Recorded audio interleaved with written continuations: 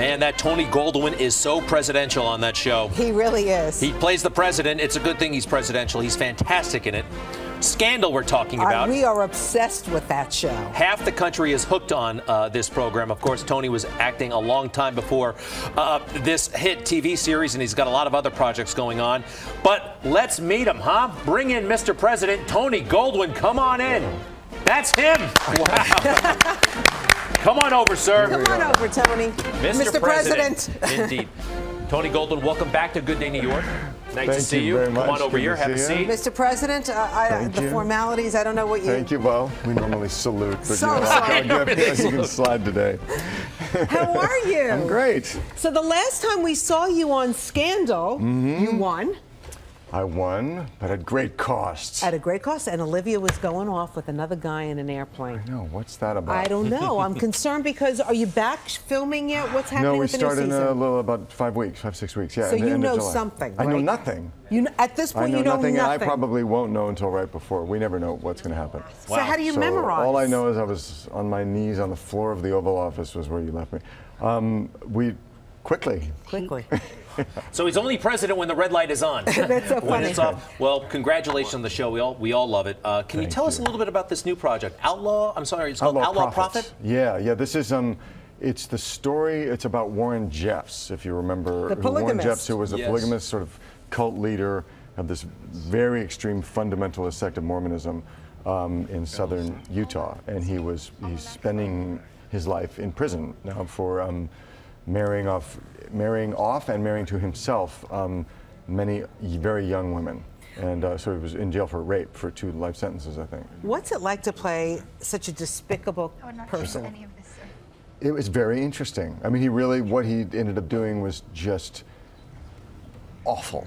Um, and, and the way he, not only with the, you know, uh, pedophilia with young women, he, it- it's a, you know, it's really what the movie is about, a study of a man who wanted to control everybody's life. So it's a cult leader, really. And, and to get in the head of somebody who is obsessed with controlling every nuance of everybody's life and, um, you know, in this very small community. It's just really fascinating, It- but unpleasant too. I mean, there's some really uncomfortable stuff in there. We Totally actually a wild. clip. He, he had all these defenders as Yeah. well at the trial. You'll remember. does. There's still 10,000 people that follow him, and he dictates their every move in life. Did you ever meet him at all? Did you I try didn't. to meet him? I didn't sort of have time, but also I don't know that he. I, I don't know that I, c- he would have spoken to me if I'd gone Yeah. to the prison. I want to see you in action in Outlaw Prophet. Let's take a look. Is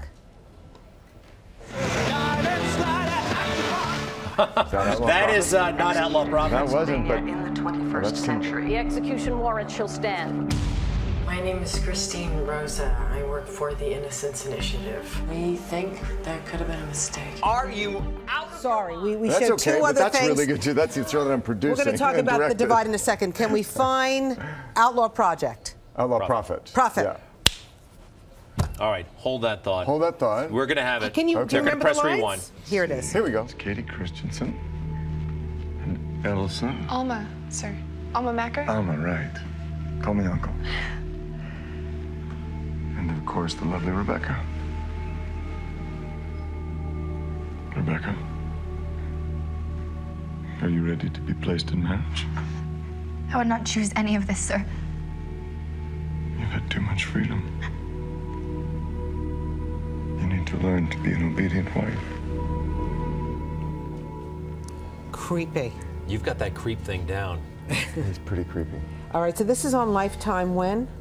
This is on Lifetime uh, Saturday, this Saturday night at 8 o'clock. Now you're also, Yeah. we got a little sneak peek at You did, of my other show. At the other show, uh, That's The right. Divide, which is on Yeah. WeTV. Yeah, it's the first that. scripted series on, on WeTV. Um, and this is a show that I executive produced and co-created with um, Richard LaGravenese, who's a wonderful screenwriter, did Behind the Candelabra last year. And um, uh, Richard and I came up with this idea, and it's about a case where a man is potentially wrongfully executed. But you don't know if he's innocent. And, and um, the DA who made his career on this case, and a young woman who you see in the clip from the Innocence, we call it the Innocence Initiative, but it's based on the Real Life Innocence Project. And it really looks at a crime and we follow as this sort of crime unravels and all the lives that are affected by it. Well, you are good because you don't only play the creeps, you play heroes as well, and you play them like Neil Armstrong. You were Neil Armstrong. I was in- Neil Armstrong, He was yeah. fantastic. Good. Tell him about what you're obsessed with, though. Well, a little bit. I mean, your Hollywood lineage, uh, heritage. Mm. I think we have. Have you ever seen one of those old movies and at the end of it, the lion comes up? Let's hit that, please, and you'll tell us about it. Watch this. Yeah, yeah, right. That's my name in the middle of there. Metro Goldwyn Mayer.